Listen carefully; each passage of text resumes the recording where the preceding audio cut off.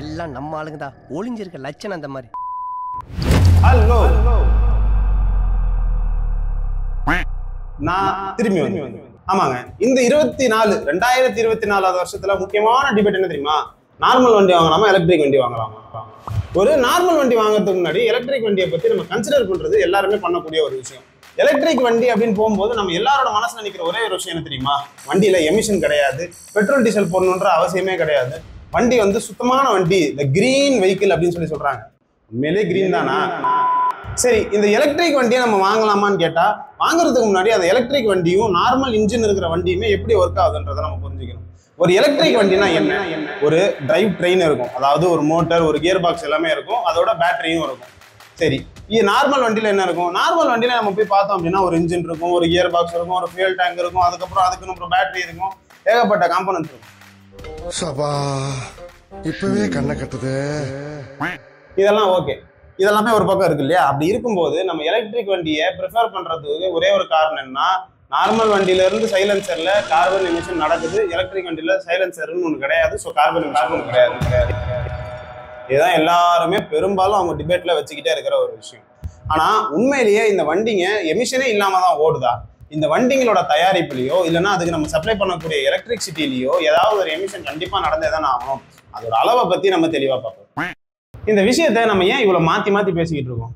நான் சுத்தி வளைச்சு பேச இந்த விஷயத்துக்கு பின்னாடி நம்ம யூஸ் பண்ற ஈவிஸோட மெட்டீரியல் தான் இருக்கு. ஒரு ஈவி ரெடி பண்ணணும் அப்படின்னா அதுக்கு பேட்டரி ஒரு மிகப்பெரிய பங்கு வகிக்குது. ஆனா அந்த பேட்டரியை தயாரிக்கிறதுக்கு இன்னைக்கு கோபால்ட் நிக்கல் நியோடினம் அப்படின்னு சொல்லிட்டு நம்ம நிறைய ப்ராடக்ட்ஸை யூஸ் பண்றோம். அதில் ரொம்ப முக்கியமாக யூஸ் பண்ணுற ப்ராடக்ட் தான் லித்தியம் இந்த லித்தியம் பார்த்தீங்கன்னா நம்ம நார்மலான வண்டிங்களை தயாரிக்கிறத விட அதிகமாக நம்மளுக்கு கார்பன் எமிஷனை கொடுக்குது. உதாரணத்துக்கு ஒரு டன் லித்தியம் ரெடி பண்ணணும் அப்படின்னா அஞ்சுல இருந்து பதினஞ்சு டன் வரைக்கும் கார்பன் எமிஷன் நடக்குதுன்னு சொல்லிட்டு ஒரு ஸ்டடி சொல்லுது. சரி இது கூட ஆனா ஆகட்டும். இதை தாண்டி ஒரு ஹியூமனிட்டிக்கு ஒரு பெரிய ப்ராப்ளமா இருக்கிறது என்னன்னு பாத்தீங்கன்னா இந்த லித்தியம் கோபால்ட் எல்லாமே எக்ஸ்ட்ராக்ட் பண்றது இன்னும் பெட்ரோல் டீசல் எடுக்கிற அளவுக்கு ஒரு ப்ராப்பரான ஒரு இண்டஸ்ட்ரியா மாறல.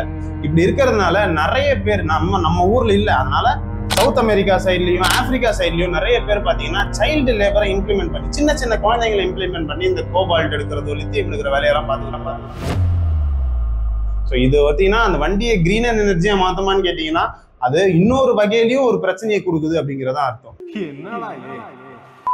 ஆல்ரெடி நம்ம ஊர்ல கார் தயாரிக்கிறதுக்கு இத்தனை லிட்டர் தண்ணி அத்தனாயிரம் கோடி லிட்டர் தண்ணி இத்தனை லட்சம் லிட்டர் தண்ணின்னு சொல்லிட்டு எவ்வளோ வேஸ்ட் பண்ணுறோமோ அதை எடுத்து எடுத்து ஒரு ஒரு பொலிட்டிக்கல் லீடர்ஸாக அதை பேசி பேசி பேசி பொலிட்டிக்ஸ் பண்ணிட்டு இருக்காங்க. ஆனால் இதையும் தாண்டி எலக்ட்ரிக் வெஹிக்கிளை பொறுத்த வரைக்கும் வண்டி தயாரிக்கிறதுக்கு அதே அமௌண்ட் ஆஃப் தண்ணி யூஸ் பண்ணப்படுற நேரத்தில் லித்தியமை ரிஃபைன் பண்ணுறதுக்கு அதாவது எடுக்கப்படுற லித்தியமை சுத்தம் பண்ணி பேட்டரியாக மாற்றுறதுக்கு மட்டுமே அதுக்கு ஈக்குவலான அமௌண்ட் தண்ணி யூஸ் ஆகுது. இந்த மாதிரியான ஒரு சூழ்நிலையில ரெண்டாயிரத்தி முப்பதுல கிட்டத்தட்ட நூத்தி நாற்பத்தஞ்சு மில்லியன் எலக்ட்ரிக் வெஹிக்கிள்ஸ் ரோட்ல போகும் அப்படின்னு சொல்லிட்டு ஒரு ஸ்டடி சொல்லுது. இந்த ஸ்டடி கரெக்டாக தப்பான்றதெல்லாம் நமக்கு தெரியாது. ஆனால் எலக்ட்ரிக் வெஹிக்கிள் யூஸ் ஆகுது. எலக்ட்ரிக் வெஹிக்கிள் யூஸ் பண்ணும்போது நமக்கு கிடைக்கிற எனர்ஜி பியூராக இருக்கான்றதை நம்ம ஃபஸ்ட்டு ரெக்கக்னைஸ் பண்ணணும். ஒன்றும் இல்லைங்க உதாரணத்துக்கு சொல்கிறேன் ஒரு எலக்ட்ரிக் வெஹிக்கிளை நீங்கள் எடுத்துகிட்டு போயிட்டு நார்வே மாதிரி ஒரு கண்ட்ரியில் ஓட்டுறீங்க அப்படின்னா அந்த எலக்ட்ரிக் வெஹிக்கிள்னால வரக்கூடிய ஒரு பொல்யூஷன் ரொம்பவே கம்மி. ஏன்னு பார்த்தீங்கன்னா நார்வேன்ற ஒரு கம்பெனி அவங்களோட முக்காவாசி எலக்ட்ரிசிட்டியை ஹைட்ரோ எலக்ட்ரிசிட்டியாக தான் எடுக்கிறாங்க. ஹைட்ரோ எலக்ட்ரிசிட்டினா என்னன்னா தண்ணியோட ஃப்ளோவை கண்ட்ரோல் பண்ணி எலக்ட்ரிசிட்டி ஜென்ரேட் பண்ணுறது அதுவே அந்த வண்டியை நம்ம ஊர்லேயோ இல்லை சைனாலேயோ நீங்கள் யூஸ் பண்ணும்போது அங்கே கிடைக்கிற எலக்ட்ரிசிட்டி எல்லாம் பார்த்தீங்கன்னா நிலக்கரியை எரிக்கிறது மூலியமாக கிடைக்கிற எலக்ட்ரிசிட்டி இப்போ யோசிச்சு பாருங்க ஹைட்ரோ எலக்ட்ரிசிட்டிலையும் கோல் எலக்ட்ரிசிட்டிலையும் நமக்கு கிடைக்கிற கார்பன் எமிஷனோட டிஃபரன்ஸ் ஹைட்ரோ எலக்ட்ரிசிட்டியில் கார்பன் எமிஷனே கிடையாது. ஆனால் கோலை எரிக்கும் போது அவ்வளோ கார்பன் எமிஷன்ஸ் நடக்குது. நம்ம ஊர்ல இன்னும் அநியாயம் நியூக்ளியர் பவர் பிளான்ஸ் இந்த நியூக்ளியர் பவர் பிளான்ஸை வச்சு நம்ம இன்னும் அதிகமான எமிஷன்ஸை கிரியேட் பண்ணிக்கிட்டு இருக்கோம். கார்பன் மட்டும் இல்லாம டிஃப்ரெண்ட் ரேடியேஷன்ஸும் கிரியேட் ஆகும். இது எல்லாத்தையும் தாண்டி தான் நம்ம ஒரு எலக்ட்ரிக் வெஹிக்கிளை ரன் பண்ணணும். அப்படின்னும் போது ஒரு தனிநபரா நமக்கு அந்த எலக்ட்ரிக் வெஹிக்கிள் லாபத்தை கொடுத்தாலும் எக்கனாமி வைஸும் என்விரான்மெண்ட் வைஸும் அந்த எலக்ட்ரிக் வெஹிக்கிள் ஒரு பெரிய பொல்யூஷனை கிரியேட் பண்ணுறது சரி அப்போ எலக்ட்ரிக் வெஹிக்கிள் நம்மளுக்கு பிரோஜனமே கிடையாதா? நம்ம லாஸ்ட் வரைக்கும் ஈவி யூஸ் பண்ணவே முடியாதான்னு கேட்டிங்கன்னா கிடையவே கிடையாது. ஈவிக்கு நம்ம மாறி தான் ஆகணும். அங்கே தான் ஒரு சின்ன ட்விஸ்ட் இருக்கு. ஈவிக்கு மாறுறதுக்கு முன்னாடி நம்ம நார்மல் வண்டிக்கு என்ன பிரச்சனை ஐடென்டிஃபை பண்ணணும். நார்மல் வண்டியில் carbon monoxide carbon dioxide nitrous ஆக்சைடுன்னு சொல்லிட்டு நிறைய நம்மளுக்கு நாக்ஸ் கேசஸ் ரிலீஸ் ஆகுது. இந்த நாக்ஸ் கேசஸை கட்டுப்படுத்துறதுக்கு நம்ம ஸ்டேஜ் நாம்ஸ் மாட்டிக்கிட்டே இருக்கோம். BS two three four five six six point two இன்னும் அடுத்து செவன்லாம் வரப்போகுது.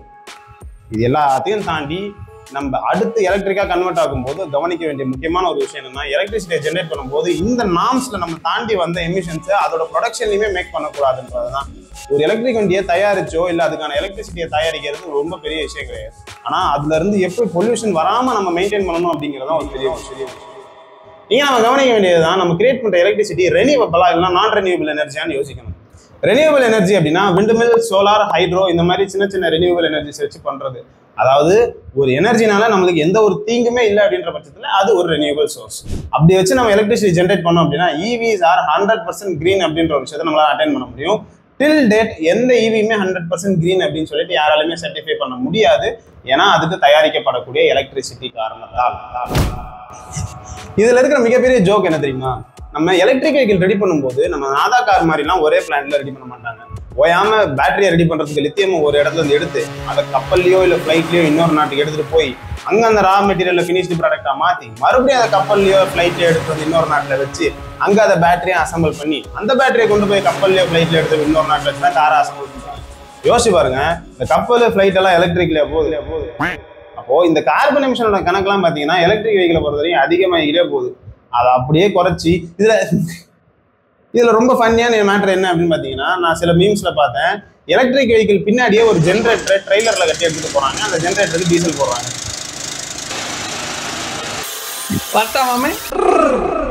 அதுக்கு பருத்தி மூட்டை குடவுன்லேயே இருக்கலாம். இந்த எலக்ட்ரிசிட்டியை நம்ம ப்ராப்பராக கிரியேட் பண்ணி அந்த வண்டியை யூஸ் பண்ண ஆரம்பிச்சிட்டோம் அப்படின்னா நம்ம உண்மையிலேயே நார்மல் வெஹிக்கிள்ஸ் தூக்கி ஓரம் கட்டிடலாம். ஆனால் என்னைக்குமே ஒரு எந்தூசியாஸ்டா எலக்ட்ரிக் வெஹிக்கிளை விட நம்ம நார்மல் வெஹிக்கிளை தான் லவ் பண்ணுவோம். எப்போவுமே அதை மட்டும் தான் கூட வச்சுக்குவோம் ஏன்னா அதோட லெகசி ரொம்ப பெருசு.